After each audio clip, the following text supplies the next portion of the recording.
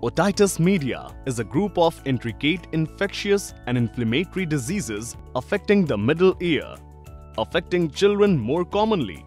Otitis media is highly prevalent worldwide and is the main cause of hearing impairment in developing countries. Most cases of otitis media are caused by bacteria and antimicrobial therapy is one of the cornerstones in the management of acute otitis media. Let's discuss a clinical scenario highlighting the role of antimicrobial therapy in acute otitis media.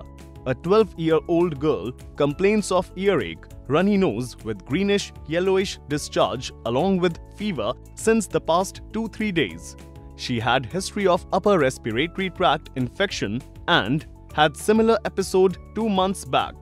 With positive examination finding patient was diagnosed with acute otitis media and was treated with analgesics and antibiotics. The choice of antibiotic was amoxicillin clavulanate. Patient responded within 2-3 days.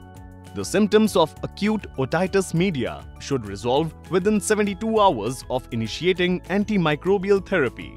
The 2016 Canadian Pediatric Society guideline suggests that amoxicillin is the drug of choice if antibiotics are required amoxicillin clavulanate should be considered if there is concurrent purulent conjunctivitis, a history of amoxicillin treatment within the previous 30 days, relapse of a recent infection, or non-response to amoxicillin.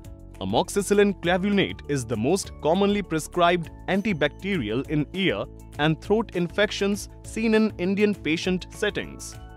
The patient mentioned here responded well with amoxicillin clavulanate and the response was seen within 72 hours.